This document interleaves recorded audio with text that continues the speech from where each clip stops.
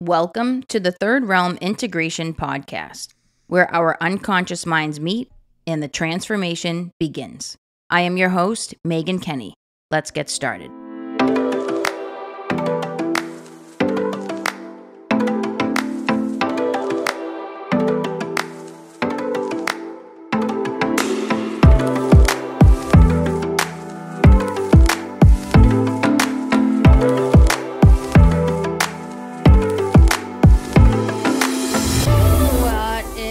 Everybody? Back for another episode of The Trip Show, Third Realm Integration Podcast, Trip. I'm going to talk about something that I believe to be the biggest trip of our entire existence here as human beings on this place called Earth. And that is the finite reality of our physical existence as ruled by time. So I'm going to break that down in a very simple way. And here's the caveat that I want to put out. This, I encourage everybody to listen to this episode until the end. Because while I am going to start out by lining up how therapists experience time, I am also going to connect it to the experience that every single human being on this planet faces when it comes to time, what their relationship with time actually is, and what it means from an existential and transpersonal perspective. So, think about what your relationship with time is. Do you stress about time? Do you worry that you don't have enough time? Are you always running late? Do you show up to things early? Does the nature of time create stress for you? And in that same vein, now I'm going to kick it up to the existential piece. When we think about what our relationship with time is, you want to know what it is synonymous with? Our relationship with our physical death. It sounds pretty dark because it kind of is the difference between the Earth School and every other, you know, quantum school out there and every other dimension, realm, or on some other planet is the fact that we are ruled by some universal earthbound rules and laws that don't exist elsewhere. Time, matter, which also includes money, free will, and suffering are the core components that make the Earth School exactly what it is and makes it so special and unique and different from any other. I wouldn't even say astral because that's only kind of one plane of existence, but any other quantum realm of reality. And I think we all struggle with these concepts. I think we all struggle with the the finite reality of finances and money and the symbol in the tool that money shows up as in our life. I think we all struggle with time. Think about how many people you know, maybe even including yourself, that struggle with the aging process. Am I running out of time? Do I have enough time? And that goes right, that starts right from your everyday, minute by minute, second by second experience of when you wake up and when you go to sleep and everything in between, all the way up to the existential understanding of time, which includes our last day in this physical body. This is not a dilemma that everybody faces uh, in this like vacuum kind of way. This concept of time and physical rule bound experiences here on the on the earth plane are, is so nuanced and so varied that I'm sure everybody listening to this right now can come up with their own flavor of how they relate to time in their personal life, in their professional life, and in their spiritual journey. Now, those of us that do the work in the transpersonal realm or in the realm of maybe quantum physics might have an even more complicated relationship with time than somebody who uh, mm, respects time maybe in a different kind of way, allows time to frankly have their way with them, surrenders or submits to time. I feel like those of us in the transpersonal space might be there in part because we have a really complicated, resistant relationship to time. And that might not really be all that comfortable to stay in the physical reality of matter. And instead, we find some relief, we find some interest in being outside the constraints of time. Qu- quantum mechanics, going beyond the illusion of the time space continuum. So, I want to speak about this from my own personal perspective. I also want to speak about it from the perspective of a therapist in general, because the concept of time is probably, in my experience and what I've read on different therapist blogs and heard from different therapists about how they work with the concept of time when it comes down to the frame of the session, so the beginning and the end of the session, it literally poses its, itself as probably one of the biggest clinical dilemmas that a therapist could ever navigate. I cannot even tell you how many therapists struggle with ending a session on time, myself included. And there are so many different suggestions out there based on somebody's therapeutic modality on how they may reach the end of a session and how they may go about it. I've seen everything from no real wrap up to just like, okay, that's time. I'll see you next week. To people using internal family systems to bring the end of the session up consciously. I've literally seen it go in a million different ways. I've seen people spend 10, 15 minutes preparing for the end of the session prior to its last minute. And again, I've seen people just kind of abruptly end the session. You know what I actually want to do? I'm going to play a clip. I'm going to play a clip right now that'll walk us into this. That is from my favorite movie of all time, Good Will Hunting. Now, therapists probably really do end sessions like this, but I, you know, I have to kind of I have to pay attention to the irony in this clip because I think it also is sensationalized and I think it highlights really the do's and don'ts, but maybe even the do's that might be considered the don'ts when it comes to therapy ending a session. And also, this clip has to do with terminating the therapeutic relationship. This is not just the end of the session, this is the end of their very last session. His therapist, Will's therapist, good old Sean Maguire, ends the ends the session in a very unique way. And I've view I've done presentations in psychology courses before in my master's program where I've used a lot of clips from this movie actually. So it's a it's a two minute clip. Hang in there, listen to it it's nostalgic for me, so I'm to be listening to it right here in real time. But listen all the way to the end, and then I'm to unpack this.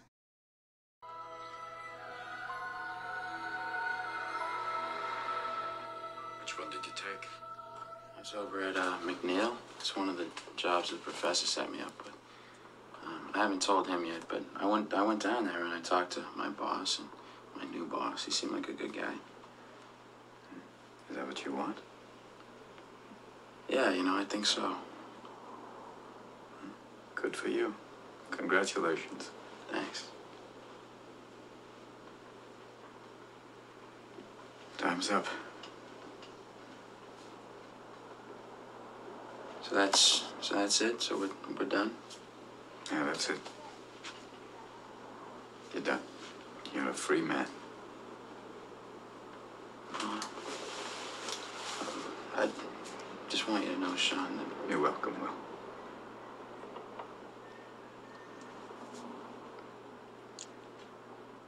so you know I uh, hope we keep in touch. You know. Yeah, me too. I'll be traveling around a bit. and It'll be a little hard, but um, I've got an answering machine at the college I'll be checking in with. So, you call that, I'll get back to you right away. Yeah, you know, I figured I'm just gonna put my money back on the table and see what kind of cards I get. You do what's in your heart, son, you'll be fine.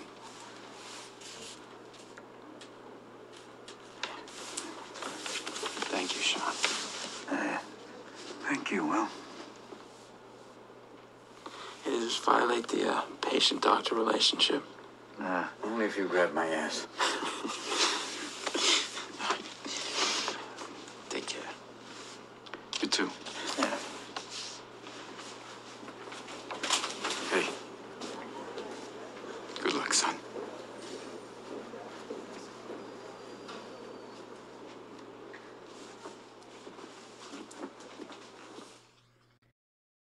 All right, so that is. No, I got ads playing here.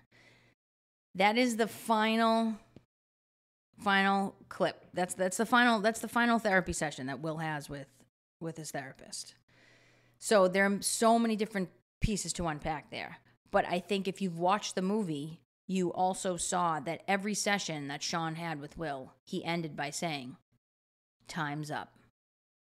Right up until the very last session where they had built this incredible relationship with each other, where Will shows up as this resistant, defiant client who at times sat in utter silence for the whole 60 minutes, which is a which is a therapist's nightmare, and eventually opens up and has a completely transformative experience in that therapy room thanks to the relationship that that therapist was able to build with him as that therapist was able to hold the space for all of the resistance that this client who was essentially mandated to therapy for wasn't his choice I mean, he obviously went willingly, but it were it was all the professors at MIT that saw his brilliance and also saw his self-sabotaging behavior and wanted him to work on that, wanted somebody to psychoanalyze him, try to figure this kid out. They send him to Sean Maguire, and Sean Maguire actually works with him in a very untraditional way. Non-traditional way is probably the best word.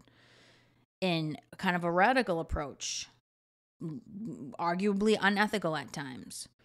And I think it's just kind of amazing to watch that as a therapist and see how the nature of that therapeutic relationship unfolded, how strong it was, and how instrumental it was in bringing somebody's full potential out to move them past the blocks that were preventing them from being their best self. In doing so in a way that was pretty direct and confrontational and no bullshit. And that's actually the bridge that created the transformation in the client was the direct confrontational approach. Now, I'm not saying that being confrontational as a therapist in therapy is always the best answer. In fact, that's kind of an old school model and has been the, the traditional model in very specific styles of therapy with very specific populations in the forensic world. The, you don't really see that as much anymore. And I do have to wonder whether or not that's part of the reason why uh, the mental health space has been so watered down, frankly, and is largely not very effective for folks. Maybe we need a little bit more of that. Maybe we have maybe maybe our therapists are a little bit too uptight and they're a little too codependent and they're frankly a little too empathic and they don't know how to transition into the space of compassion, which is much more direct and much more able to allow the therapist to hold the client accountable because that all ties into the nature of the physical reality that we reality that we live in which is that we are ruled by time and space and matter. Things cannot go on forever.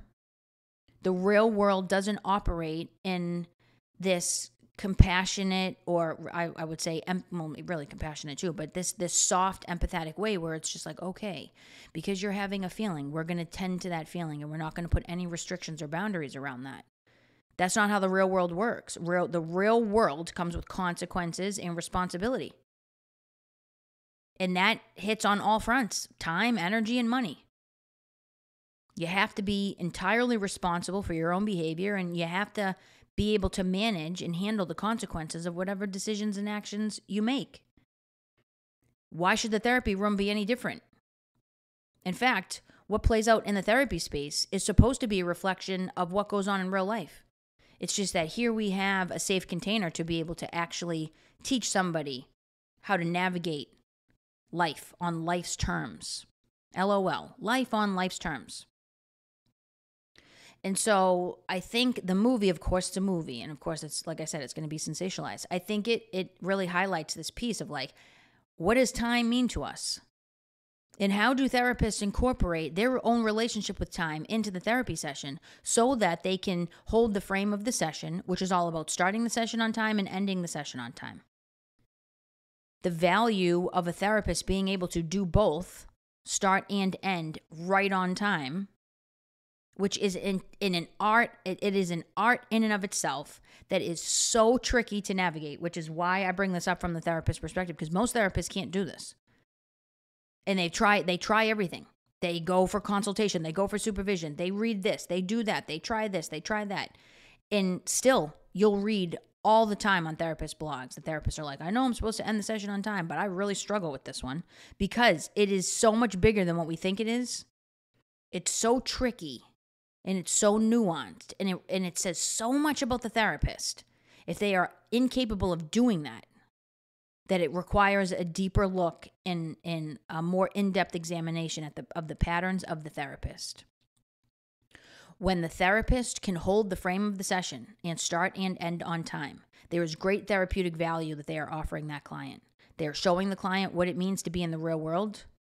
Doesn't really matter if the client's in a really deep, vulnerable emotional state and you're approaching the end of the session. It is what it is. The session has to end. And that's being mindful and respectful of the client's time to not keep them longer, mindful and respectful of your own time as the therapist to not one give away free therapy but two not give away your energy that you don't have to give. If you have a client right after the client that you're seeing and you go over time with the client that you're seeing you're now taking away from the client that's coming next. Because you don't have time to get up and go to the bathroom and take care of yourself and get a drink of water. So you can center and reset to be the best version of yourself going into that next session and you also don't have time to write any notes that you need to write or schedule that client that you're seeing for the next session, which should be done in the session because that's part of the work. The notes are a separate piece that you you have to do on your own time. But as far as like wrapping things up, getting the client in for the next week, you do that in the session. Now, I'm speaking from a place of complete humility with this, which is why I'm getting on the mic in the first place because this is something I'm not good at. And as I search high and low and I read all these different perspectives from all these different therapists, and I'm just like, nope, that doesn't feel right to me. Nope, can't do it like that. Nope, don't like that suggestion. And I'm like, all right, how am I going to actually implement a system that feels authentic to me? So I was just like, I got to find out what's going on here on a deeper level. This is not just about a solution, a solution based idea where it's like, I have this problem. I have trouble ending the session on time. I know from a clinical perspective as to why it's important because I also want to teach the client boundaries. And if I can't if I can't hold the boundary of the session, how the hell am I going to teach that? And then you wonder why clients end up, you know, going beyond the bounds of the boundaries. Well, you're cuz you're not holding them. So you're sending an unconscious message that boundaries don't really need to be honored and respected here. So then this is how we co-create our own reality. Then we're finding ourselves in situations where maybe clients are pushing boundaries. I, I really don't have too much of that, that really at all these days, but I, I couldn't be surprised if it did happen because if I can't hold the frame of the session, I always, almost always start on time, like exactly right within that first minute. But I'm finding, like this last week, I started one session three minutes late because what happens is in Zoom, I have a waiting room if I have to jump out and jump back in to end the session that I'm in with a current client, but I have somebody in the waiting room, when I jump back on, it takes a full minute for that client that was in the waiting room to show back up and tell me that they're in the waiting room so that I can actually let them in. So I'm back by a minute anyway. So I'm starting a minute late. One day it was three minutes late, which to me is unacceptable. I'm always right on time. Ending on time is a different story. I struggle with that one because I always, it's my codependency pattern flaring up that I have a really hard time bringing something to a close, which brings into question what is my relationship with endings, and it has been it has been complicated my whole life. To then be able to end something while somebody's in a vulnerable state, and if I'm not comfortable doing that, and I'm not, because I work with a lot of clients with trauma histories, and you have to make sure that you're shoring things up so they can now go out into the world, not as an open wound. So it is clinically responsible to make sure you're tying things up. It, but you have to give yourself enough time to do that. That's the issue. And I've been underestimating the amount of time that it actually takes to shore things up when clients are in a vulnerable state.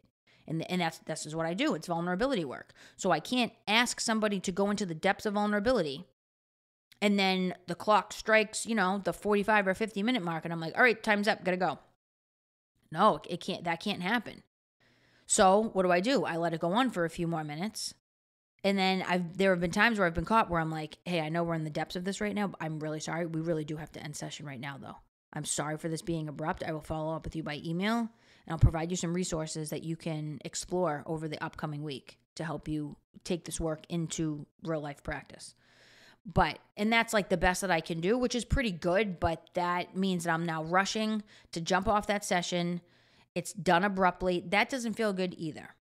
So, when a therapist has a problem ending the session on time, from an existential and transpersonal perspective, and I just read an article about this the other day, and the reason why I'm bringing this up is because the truth hurts. It really stung a little bit to read this article. And what it said was that therapists have resistance to accepting the finite reality of death. Any therapist that has a hard time ending a session has a complicated relationship with death, and there is a part of them that will not accept death as a reality. And I would say that is probably true for me. Add that to the fact that I have have had complicated uh, have had a complicated relationship with endings in general, which is tied to which is stemming from the same reason, a resistance to death. Now it's all making sense. So now I read that and I'm like, okay, this isn't now just about a behavioral modification that I have to make to begin implementing a firm end time to my sessions. This is way bigger than that. And I am not going to tolerate allowing myself to play out my own unconscious wounding patterns into a therapy session that is definitely having an effect on the client. And me allowing that session to go on longer than it's supposed to, if I believe that the client wants the session to go on longer, maybe that's one maybe that's one thing. Maybe the client maybe does want the session to go on a little bit longer. I'm not taking advantage of the client in that moment as much as if the client has somewhere to be, wants that session to end on time, and I'm in the position of authority and I'm still talking or I'm asking deep questions too close to the end, they're answering, and then as a result, we're going over, I'm exploiting that client in that moment. That's not okay with me. So, as soon as I went to the deeper level with it and I saw that this is actually an expression of my own resistance to death, I said, wait a second. This is no this is not fun and games anymore. This is not a joke. And I have to say, I actually had a client call me out a little bit on this last week. And I am beyond grateful to that client for bringing it up and saying, "Oh my god, we just went over by 7 8 minutes." And I'm like, "Yeah, we did. We did. We did." I need to get better at that. And that's actually what prompted this whole deeper investigation into like what is really going on here with me that I can't end the session on time. And you can't blame the client. That's not an acceptable space to go into. It, it literally doesn't matter whether or not that client is just talking straight through and has been for the last 30 minutes. It doesn't matter. You're running the session. It is your responsibility to end that session. Just like you can't charge a session for ex- uh, charge a client for extra time if it goes over session. You can't do that. You're taking advantage of the client. You are responsible for that frame. You are also responsible for facilitating deeper insights in that session, but you are responsible for that frame first and foremost. The client is going to run where the session goes and how deep we go, and I can I can give my reflections and I can prompt for a, a deeper exploration. That client may or may not go there. I have clients that I go deep and they go shallow. I go deep, they go shallow. It's it's a very interesting dynamic when you see that play out those those sessions tend to really end on time because you're not really in the depths. But if I'm leading somebody into the depths and they're going there with me, it is my responsibility to know when it is time to come back up to the surface.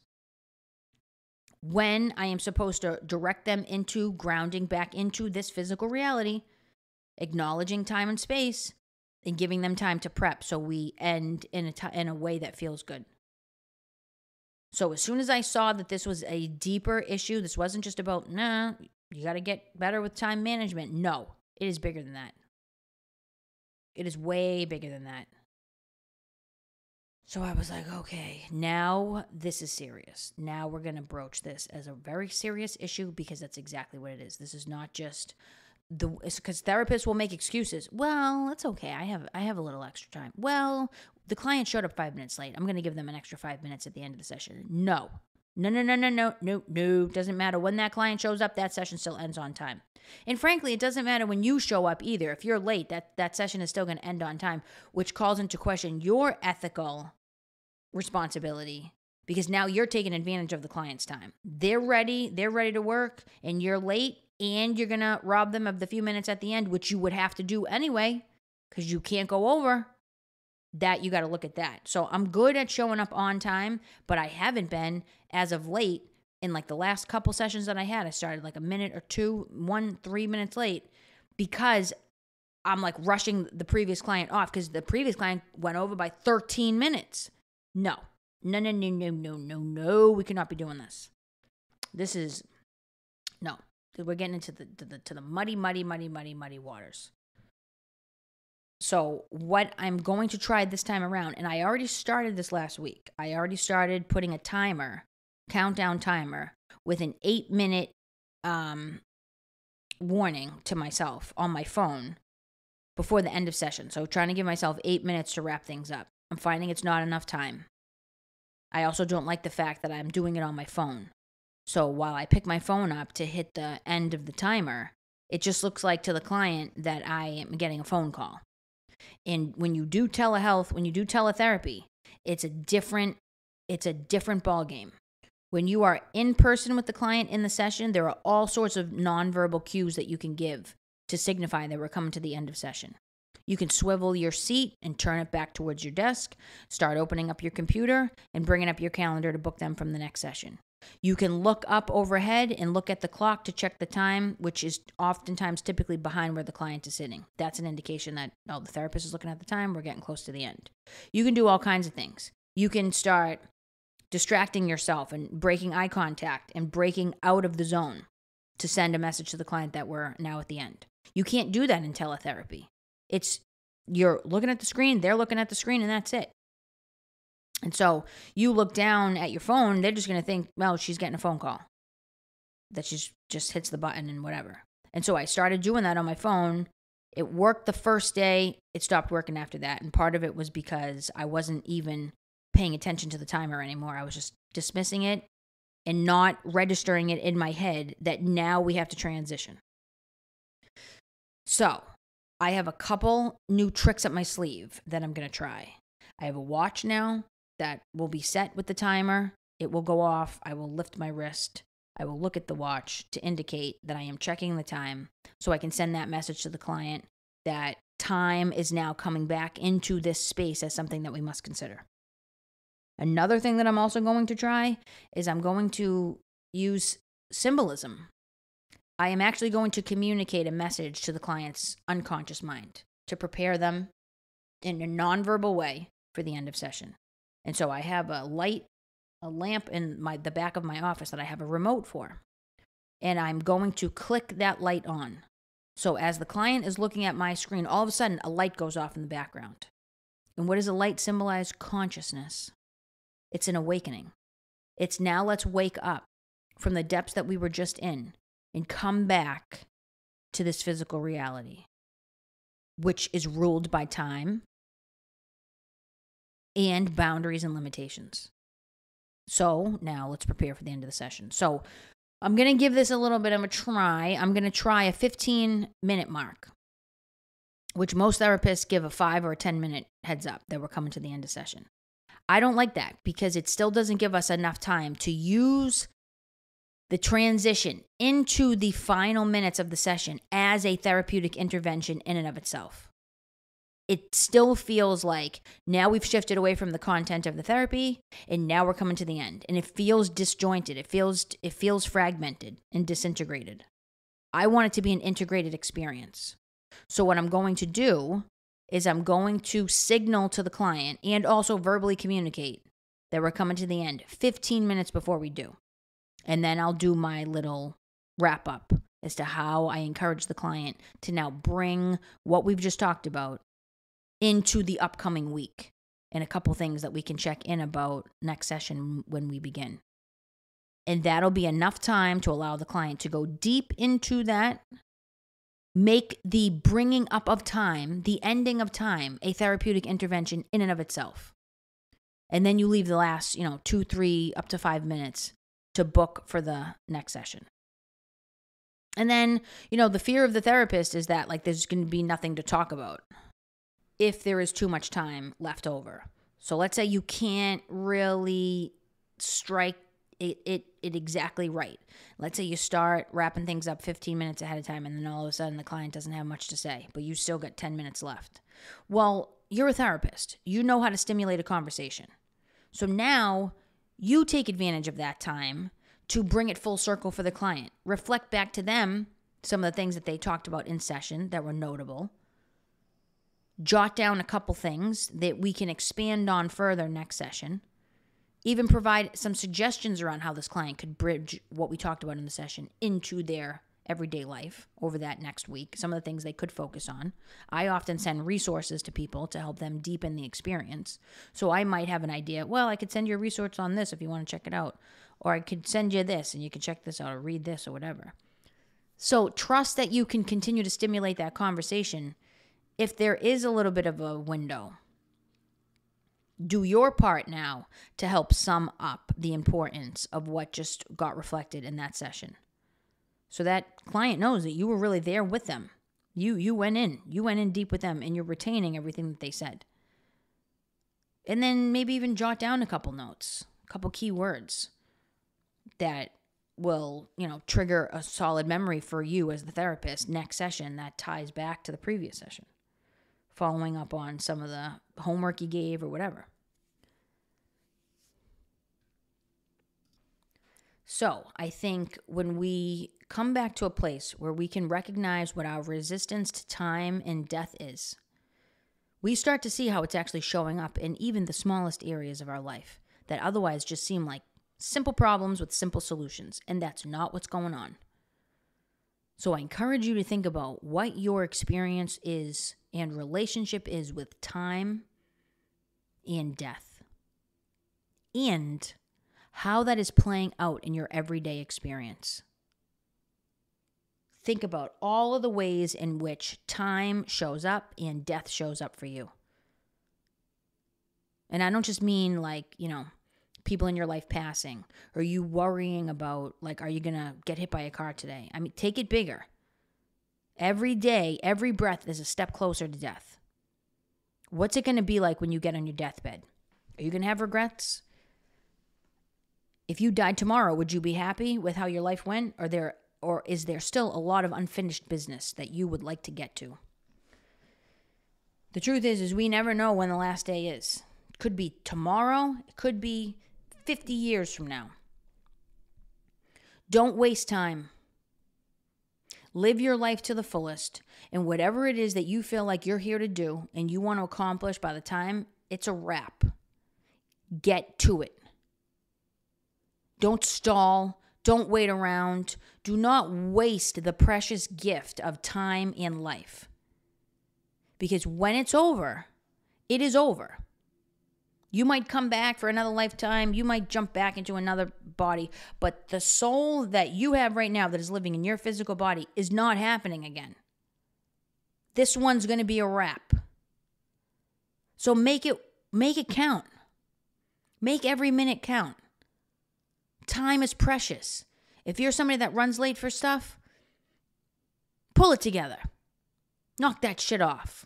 Because time is precious, including yours. Yeah, it's disrespectful to everybody else who's sitting around waiting for you. What about your time? And this goes back to the input output thing that I talked about in one of the last episodes around what your worth is. Energy in time is the same thing to me. What's your energy worth to you? Are you wasting it? Are you giving it around all willy nilly to just anybody? What are the boundaries that you have around your time, your value, and therefore your worth? And let's get real about this shit, you guys. This is not a life to be wasted that you are living right now.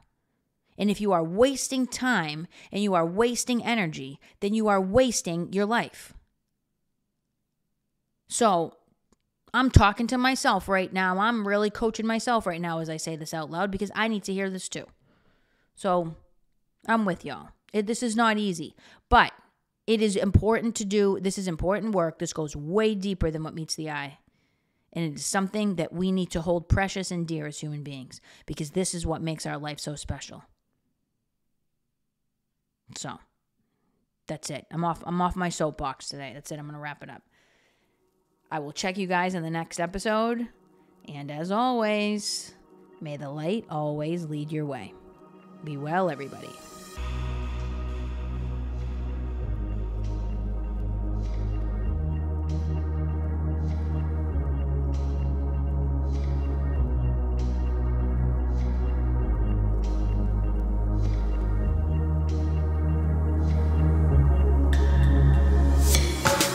Realm Integration Podcast and related content is intended to provide information and or entertainment only and is not a substitute for mental health or medical advice, diagnosis, or treatment.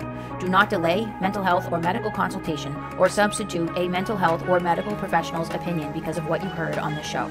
Seek the advice of your physician or another qualified health provider with any questions you may have regarding a mental health or medical condition. The host of this podcast does not provide emergency support for mental health or medical issues. For questions or concerns, visit your local emergency room or contact your doctor.